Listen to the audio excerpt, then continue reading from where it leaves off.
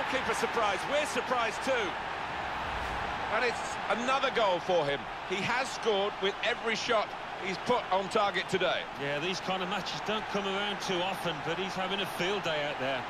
Well, how many times would you see this kind of shot just floating to the crowd behind the goal, but this time the keeper no chance.